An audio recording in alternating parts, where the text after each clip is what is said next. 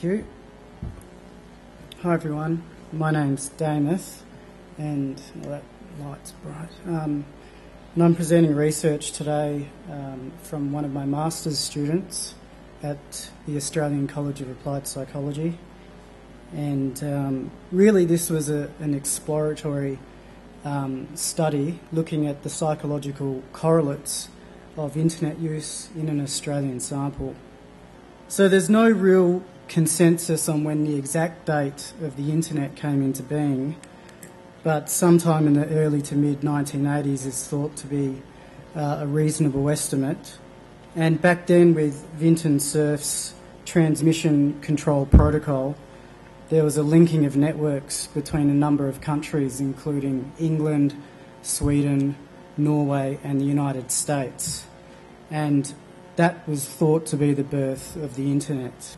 And from those first original network links, we now have a global World Wide Web with virtually every um, planet, with every country on the planet linked together by a network which is dominated in use by the Asian region that you can see there with 1.2 billion users, followed by Europe, the Americas, Africa, the Middle East, and Australia. When we look at the penetration rates, that is, how many people in a specific region have access to the internet, we can now see that the distribution changes, with almost 85% of people in North America having access to the internet compared to only 21% in Africa. Uh, nevertheless, with the development of more user friendly computer technology and software, the use of the internet has dramatically grown between the years 2000 and 2014, seeing a worldwide increase of 676%. As we're all aware, there are many benefits associated with the internet, such as access to interpersonal communication and information sharing. However, there are growing concerns regarding the risks associated with internet overuse and there's now suggestion that there could be widespread addiction to it, particularly amongst college and university students who are generally regarded to be the heaviest users of the internet. Internet addiction has been gaining attention in recent years, partly due to its potential inclusion in the Diagnostic and Statistical Manual of Mental Disorders.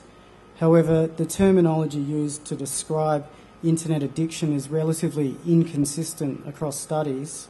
Um, because internet addiction suggests that people become addicted to the internet medium, when in actual fact, research suggests that the actual addiction is with the use of specific online activities such as internet gaming and internet gambling being the two best examples. Wanajak in 2011 proposed 10 diagnostic criteria for internet addiction, which I've put up there, and I've correlated these criteria with the DSM 5 diagnostic criteria for internet gaming disorder. And that criteria is very much linked to addiction research that you would find with alcohol or drug addiction, where the individual has urges to use the internet when they don't have access to it, a bit like experiencing withdrawal symptoms. Once you have access to the internet, you have difficulty controlling your use while you're on it. You have a preoccupation with using the internet. Over time, you might build up a tolerance to the internet such that you need to use it more and more each time uh, you're on it to reach the same level of satisfaction. And internet overuse will lead to various adverse side effects, such as sleep deprivation, eye pain, back pain, and many other physiological and psychological conditions. The DSM 5 suggests that five or more of these criteria need to be met within a 12 month period that leads to significant impairment and significant distress. Epidemiological studies on internet addiction have reported uh, large vari- variations in prevalence rates, although by far the largest numbers are consistently reported in Asia. Apart from cultural factors, the difference in prevalence rates may also be associated with differences in how internet addiction is defined and also the met- methodological way it's measured, with some research using self report questionnaires, whereas other research has used distinct diagnostic criteria like the criteria I showed on the previous slide. The other consideration that I should highlight is that most of the research has vo- focused on segments of the population who are generally regarded to be the heaviest users of the internet, such as high school and university students. The pathway from uh, adaptive to pathological internet use is not clear cut. There's been no definitive research showing a cause and effect relationship. However, there are noteworthy characteristics that distinguish those who are addicted to the internet compared to those who are not. The literature shows that those who are addicted to the internet have higher rates of depression, dysthymic disorder, behavioural symptoms of attention deficit hyperactivity disorder, including inattention and hyperactivity impulsivity, obsessive compulsive disorder, and hostility and aggression. In general, the strongest associations are found between internet addiction and depression, and the weakest correlation is between hostility and aggression. As I've alluded to before, the geographical distribution of this research is not homogeneous because a majority of the studies have been undertaken in Asia.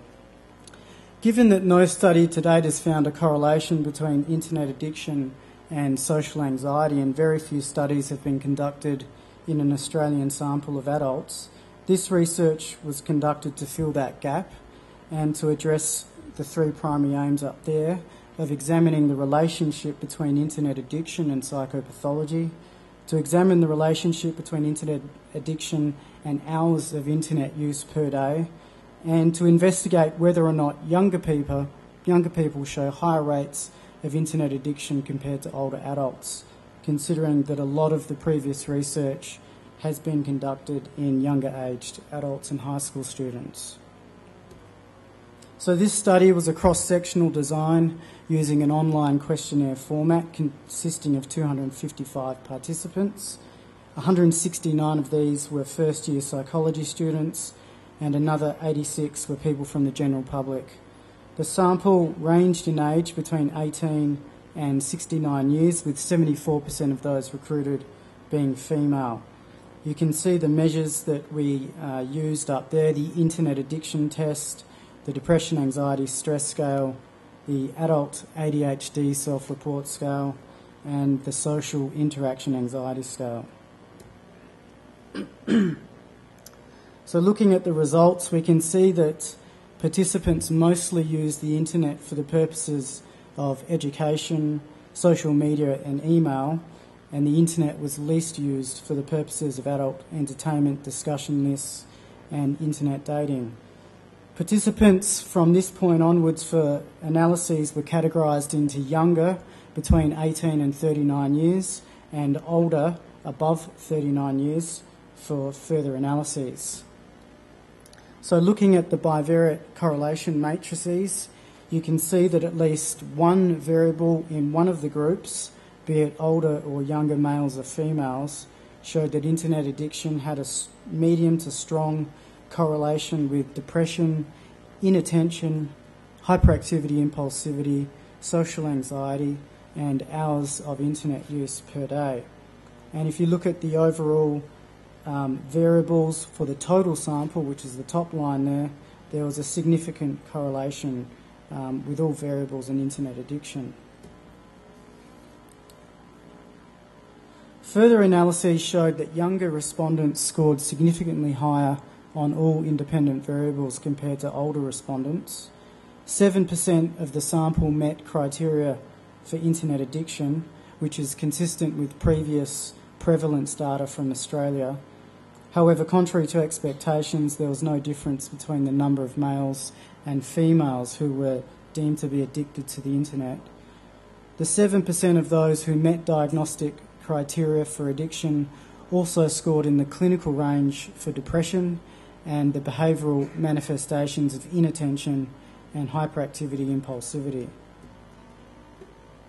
We found that a number of variables were able to successfully discriminate between those who were addicted to the internet and those who were not, with those variables being age, depression, inattention, hyperactivity, impulsivity, social anxiety, and hours of internet use per day. The most robust predictors, however, were internet with internet addiction with significant beta values in the regression model were depression and time spent on the internet. Based on these results, it's plausible to conclude that people with internet addiction are at higher risk for comorbid psychopathology. On the other hand, it's also possible that psychopathology leads to internet addiction, and future research will need to conduct longitudinal designs to distinguish the cause and effect relationships.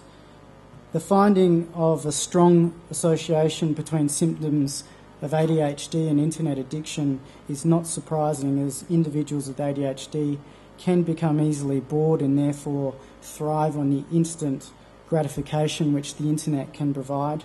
Moreover, ADHD individuals often lack self control, which can in turn sustain addiction to the internet.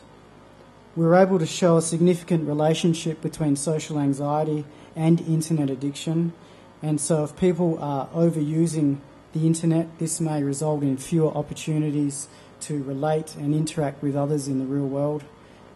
And this is potentially problematic because people with social anxiety suffer from isolation and may spend longer time online, which increases their propensity for dependency. Although not a primary focus of the present research, those who met criteria for internet addiction dedicated most of their time towards social media purposes, which was Facebook.